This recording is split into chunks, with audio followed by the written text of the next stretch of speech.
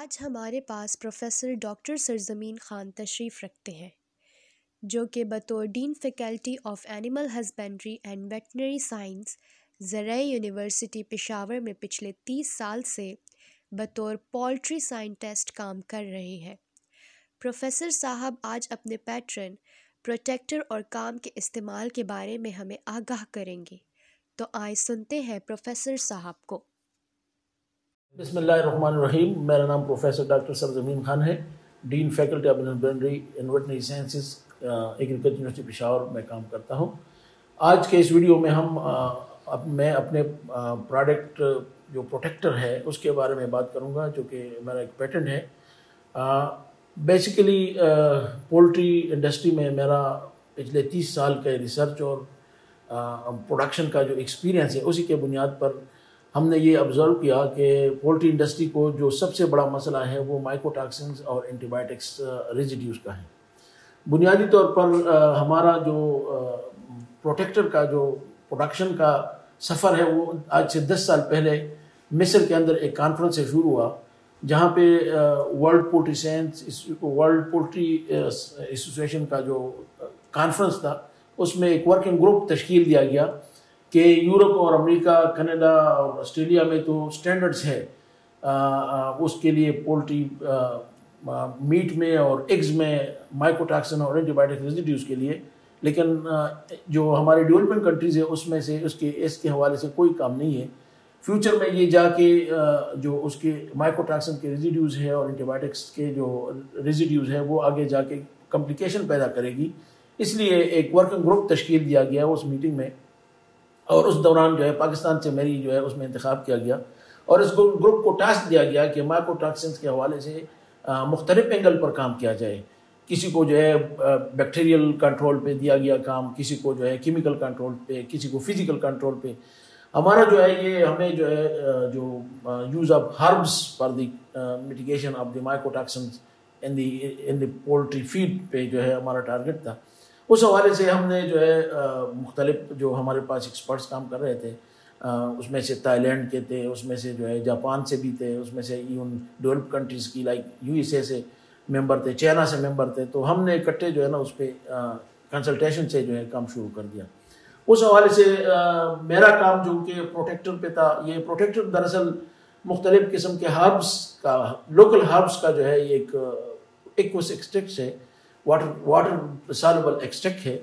और उसकी जो है उसके अंदर बेसिकली जो आ, हमारा जो टारगेट जो एक्टिव इंग्रेडिएंट्स है वो ताइमोल है और कार्वाकोल है पिनोल है और इस तरह कलाइड्स है और टिनीन्स है। तो मुख्तलिफ़ किस्म के जो है केमिकल्स है उसमें और उसके उसको हमने ऐसे ऑर्गेना ऐसे तरीके से मिक्स किया हुआ है और ट्रीट किया हुआ है कि वो उस बुनियादी तौर पर जो है वो माइकोटाक्सिन्स को टारगेट करता है।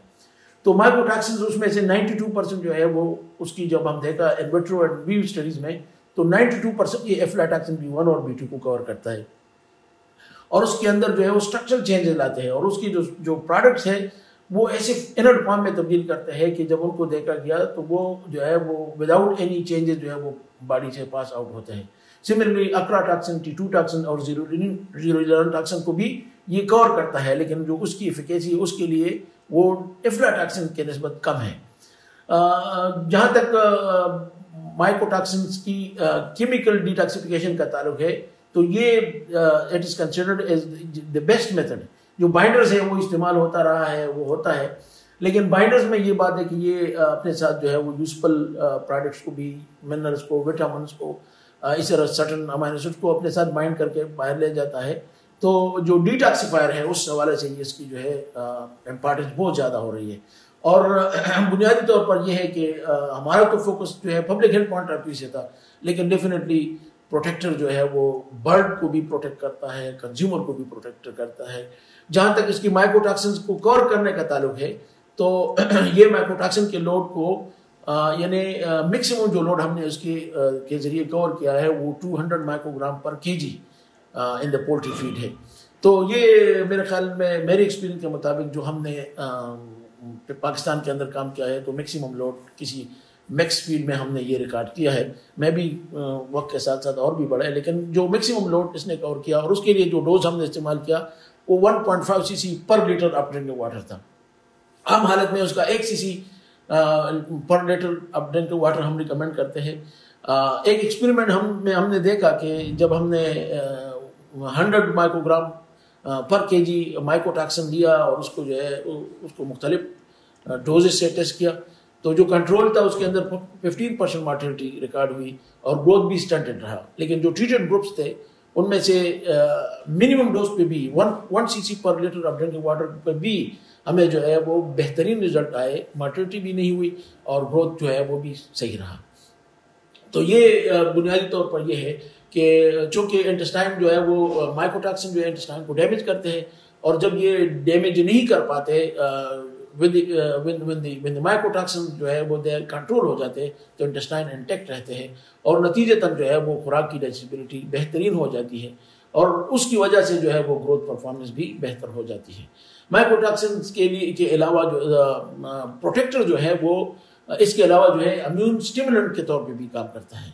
क्योंकि बर्ड जो है वो ग्रोथ के दौरान फार्म में मुख्तलिफ़ स्ट्रेसर से गुजरता है। तो प्री रेडिकल्स बन जाते हैं और यही प्री रेडिकल जो है वो स्ट्रेस का बायस बनते हैं।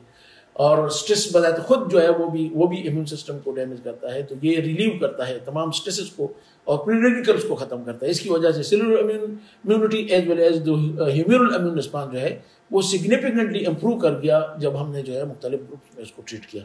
इसके अलावा जो है हमने इसको ब्रायलर्स के अलावा हमने इसको लेयर्स में भी स्टडी किया ब्राइडर ब्रीडर में भी स्टडी किया ब्राइडर ब्रीडर में। तो लेयर्स में उसकी जो है एक प्रोडक्शन के साथ साथ जो है इनिशियल थिकनेस और शाइनिंग जो है वो भी उसके साथ इम्प्रूव हुआ और उसके साथ प्रोडक्शन पे भी काफ़ी सिग्निफिकेंट असर रहा। सिमिलरली ब्रीडर में भी इसके जो है बेहतरीन नतज रिकॉर्ड किए गए। प्रोटेक्टर की जहाँ तक गट हेल्थ के लिए ताल्लुक है तो गट हेल्थ के जिस तरह आप सबको इलम है कि गट के अंदर कमेंसल्स और पैथोजन दोनों होते हैं प्रोटेक्टर के अंदर ऐसी अज्जा है जो कि सानमोनेला और इकुलाई को कंट्रोल करता है। तो इसी वजह से जो गट के अंदर जो पैथोजेंस है मोस्टली वो जो है, उसकी ग्रोथ सप्रेस हो जाती है और जो कमेंसल्स है, उसकी ग्रोथ बढ़ जाती है। नतीजतन जो है, वो बर्ड जो है, वो अच्छा परफॉर्म करता है, उसकी ग्रोथ जो है, वो बेहतर हो जाती है।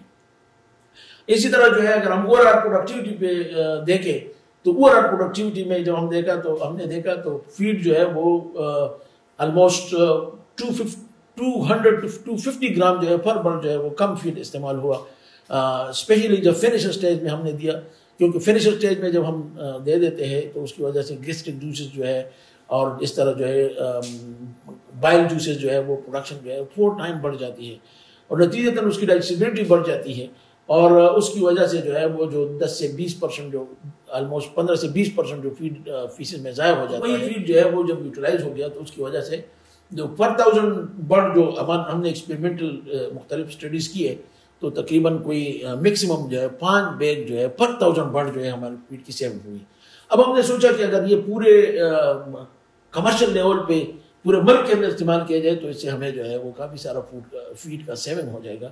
और न सिर्फ़ फ़ीड का सेविंग हो जाएगा, बल्कि उसके साथ हमारा जो माइकोटैक्सिन रिजिड्यूज है, जो कि आ रहा है मीट में और एग्स में तो वो भी कंट्रोल हो जाएगा। तो एक तरफ़ ये कंज्यूमर प्रोटेक्शन के तौर पे काम करेगा सेवेंटी टू आवर्स के बाद हमने देखा कि मीट के अंदर और एग के अंदर जो माइकोटैक्सिन रेजिड्यूज है एम वन एम टू वो ख़त्म हो जाता है। सेवेंटी टू आवर्स के बाद। और जब हमने इन्वर्टर देखा तो इन्वर्टर भी फोर्टी एट आवर्स के अंदर टेस्ट ट्यूब के अंदर जब हमने इसको इंक्यूबेट किया तो वो जो है, वो माइक्रोटैक्सन का जो M one and M two है, वो न्यूट्रलाइज हो गया। तो ये एक बहुत अच्छा थी एक तरफ़ तो ये कंज्यूमर की प्रोटेक्शन है, एक तरफ़ ये फार्मर की प्रोटेक्शन है। क्योंकि जो माइक्रोटॉक्सिन की वजह से मर्टिलिटी होनी है, जो अम्यून सप्रेशन है, और जो एंटीबायोटिक्स की जो बरमार है, जो यूज़ है मिस यूज़ है, वो मिनिमाइज हो जाती है। You will you will believe me कि हमने ऐसे फ्लाक्स भी निकाले हैं कि उसमें से प्रोटेक्टर के अलावा कोई भी दवाई, ये वैक्सीन दिया और प्रोटेक्टर मुसलसल जारी रखे, और कोई एंटीबायोटिक नहीं इस्तेमाल हुआ। तो प्रोटेक्टर जो है वो फार्मर के लिए एक नवीद है खुशी का ये न सिर्फ़ पोल्ट्री इंडस्ट्री के लिए एक अनमोल तोहफा है बल्कि ये कंज्यूमर के लिए भी एक होप है कि हम जो है माइकोटॉक्सिन के रिजिड्यूज को अच्छी तरह कंट्रोल कर सके और सोसाइटी को mycotoxin residues and at the same time uh, with the no or low antibiotic जो है वो हम उसको उसको हम मीट और एग्स प्रोवाइड कर सकें। थैंक यू क्या प्रोटेक्टर सिर्फ़ एफ्लाटॉक्सिन को कवर करता है? आ, जैसे कि मैंने पहले भी ज़िक्र किया कि एफ्लाटॉक्सिन जो है वो मेजर टॉक्सिन है और ये मोर देन 80 परसेंट जो है पोल्ट्री फ़ीड में एफ्लाटॉक्सिन होते हैं। तो प्रोटेक्टर जब हमने इवेलुएट कर दिया against aflatoxin B one and B two तो 92 परसेंट जो है उसकी एफिकेसी अगेंस्ट दी एफ्लाटॉक्सिन आई।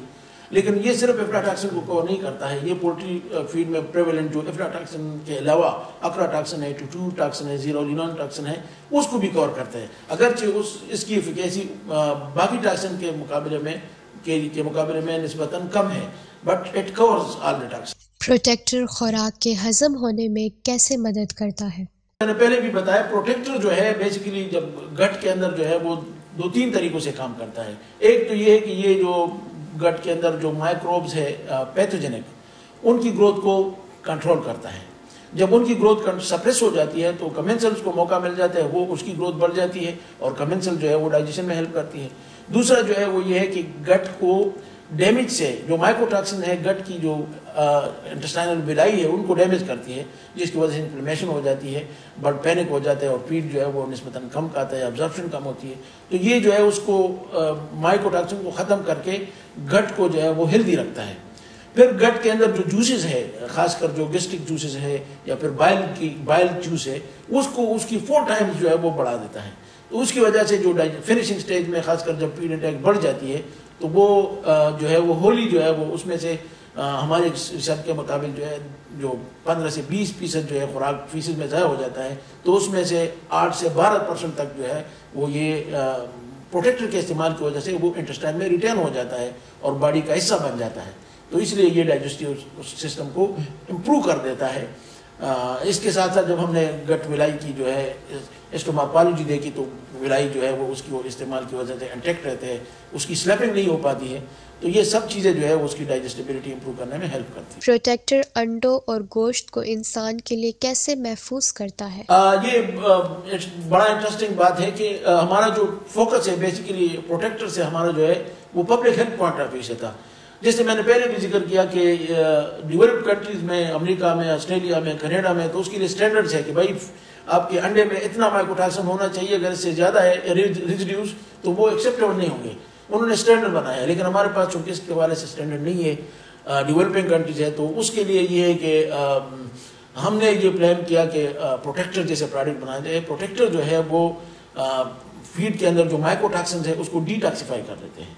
जब वो डिटॉक्सीफाई हो जाते हैं तो उसके रिजिड्यू जो है वो मीट और एग में नहीं आते नतीजतन वो जो मीट है और एग है, वो वो प्रोटेक्टिव बन जाता है। वो इंसानी हेल्थ के लिए बजाय नुकसान के फ़ायदा देता है। इसके साथ साथ जो है प्रोटेक्टर के इस्तेमाल से एंटीबायोटिक्स का इस्तेमाल कम हो जाता है, कम से कम। मैंने पहले भी ज़िक्र किया कि जिस अक्सर फ्लाक्स में जो हमने एक्सपेरिमेंटली रियर किए यूनिवर्सिटी के अंदर, उसमें से हमने सिर्फ़ प्रोटेक्टर दिया, उनको वैक्सीन कर दिया और उसकी एंटीबायोटिक्स की इस्तेमाल बिल्कुल नहीं रहा। तो शाज नादर अगर एंटीबायोटिक का इस्तेमाल आ भी जाता है तो वो उसकी रिजिड्यू जो है, उस लेवल पे नहीं पहुँचती है जो इंसान के लिए मौजूद हो। इसलिए मैं क्लेम करता हूँ कि प्रोटेक्टर जो है वो पोल्ट्री मीट और एग्स दोनों को प्रोटेक्ट करता है ह्यूमन कंजम्पशन के लिए प्रोटेक्टर औसतन कितना नफा देता है? आ, हमने इस पे जो इकोनॉमिक हवाले से इकोनॉमिक्स के हवाले से स्टडी किया है तो हमने देखा कि ब्राइडल में अगर हम मुसलसल प्रोटेक्टर देते रहे तो सिक्स रुपीज़ पर बर्ड जो है उसकी पूरी लाइफ स्पेन में खर्च आता है। लेकिन जो रिटर्न देता है वो ट्वेंटी से ट्वेंटी टू रुपीज़ जो है वो पर पर बर्ड आता है। तो ये एक ब्रांड के अंदर है जो लियर्स के अंदर हमने देखा पर मंथ जो है उसका कास्ट है वो थ्री रुपीज़ पर बर्ड लेकिन जो उसका रिटर्न है वो फोर्टीन रुपीज़ है। इसी तरह ब्रीडर के अंदर भी इसके जो है वो नंबर ऑफ़ चिक्स जो है और क्वालिटी ऑफ़ द चिक्स जो है वो वो बढ़ जाती है। इवन जो जो चूजा जो है वो ट्रीटेड ब्लॉक से आ रहा है उस उसका जो इम्यूनिटी है वो जो है वो काफ़ी बेहतर होती है और आगे आनोड जो फ्लैग का परफॉर्मेंस है वो भी बेहतर होता है। क्या प्रोटेक्टर सिर्फ़ गोश्त वाली मुर्गियों में इस्तेमाल किया जाएगा? प्रोटेक्टर गोश्त वाली मुर्गियों में जैसे मैंने पहले ज़िक्र किया कि उसका मैक्सिमम बेनिफिट लिया जा सकता है जिस तरह मैंने कहा कि सिक्स के बजाय बाईस रुपये आपको इनकम आता है। लेकिन ये एक वाले बर्ड्स में ब्रीडर में भी इस्तेमाल किया जा सकता है और उसकी पोटेंशियल वहाँ भी आती है। तो ये ज़रूरी नहीं है कि गोश्त वाले में सब में इस्तेमाल किया जा सकता है प्रोटेक्टर के मुजर असरात क्या है? प्रोटेक्टर बेसिकली हर्बल प्लांट्स का एक एक्सट्रिक्ट uh, है और मोस्टली जो है ये सेफ़ है। तो उसकी जो है ना प्रोटेक्टर की सच uh, जो है 200 टाइम जब हमने देखा 200 टाइम बर्ड्स के अंदर हमने इसकी जो है एफिकेसी देखी कि भाई 200 टाइम अगर डोज बढ़ा दी जाए तो उस स्टेज तक भी उसमें नुकसान का जो है अहतमाल नोट नहीं किया गया। मौसम के एतबार से डोज पर क्या असर है? मौसम के एतबार से जब देखा जाए तो गर्मी के मौसम में वाटर इंटेक बढ़ जाता है तो अगर उसको जिस तरह मैंने आपने पहले सवाल में भी किया कि अगर उसका इस्तेमाल ज़्यादा हो जाए तो नुकसानदेह नहीं है। लेकिन ये है कि हम चाहते हैं कि उसका जो है इस्तेमाल ऐसे लेवल पे किया जाए ताकि दवाई का भी वो इलाज ना हो। तो हम जो है गर्मी के मौसम में वाटर इंटेक जब बढ़ जाए तो उसकी वजह से अगर सर्दी में हम one point five C C या one point one C C इस्तेमाल करते हैं तो point two five C C हम जो है वो कम डोज देते हैं गर्मी के मौसम में, ताकि इंक्रीज इंटेक के साथ दवाई का इस्तेमाल ज़्यादा ना हो।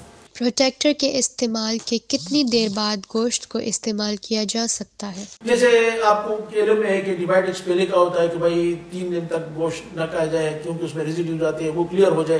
प्रोटेक्टर इस हवाले से महफूज है प्रोटेक्टर अगर फ्लाग को चल रहा है और उसको स्टार्ट किया जाए तो उसको, उसमें कोई नुकसान नहीं है। जैसे मैंने पहले भी ज़िक्र किया कि इसके 200 टाइम डोज में भी इसमें कोई ऐसी लीगल इफ़ेक्ट या कोई ऐसी डेंजरस या कोई ऐसी चीज़, मुहाद गोश्त के अंदर या एक के अंदर नहीं मिलता है बल्कि वो गोश्त और एक जो है वो महफूज तर होता है। इसलिए प्रोटेक्टर महफूज भी है और आ, उसके साथ जो है वो आ, उसका इस्तेमाल इजी है। प्रोटेक्टर के इस्तेमाल से इंसानी जल्द या आँखों के लिए क्या नुकसान है? प्रोटेक्टर के इस्तेमाल जिस तरह बाकी दो अदियात पे अगर बच्चों को उसको पहुँच जाए या फिर स्कैन पे लग जाए जो पोल्ट्री फार्म वर्कर्स हैं तो उसकी आँखों को बाजों का डिसइनफेक्शन या कोई और चीज़ को नुकसान पहुँचा सकती है। प्रोटेक्टर इस हवाले से महफूज है जिस तरह मैंने पहले भी ज़िक्र किया कि हर्बल एक्सट्रैक्ट है मुख्तलिफ़ प्लांट्स के और उसकी जो आ, उसकी जो है वो इंसान के स्किन पे या फिर इवन अगर उसको इंजेस्ट भी किया जाए इनहेल तो उसमें भी जो है उसमें कोई जहरीली असरात नहीं है बल्कि यही प्रोडक्ट जो है वो ह्यूमन के मुख्तलिफ़ अद्वियात में जो है हकीम लोग इस्तेमाल प्रोटेक्टर अगर गलती से पी लिया जाए तो उसके क्या असरात हैं? ये मैं पहले भी आपको बता चुका हूँ अगर उसको पी लिया जाए या उसको मिसयूज़ किया जाए तो उसका कोई नुकसान नहीं रिकॉर्ड किया गया।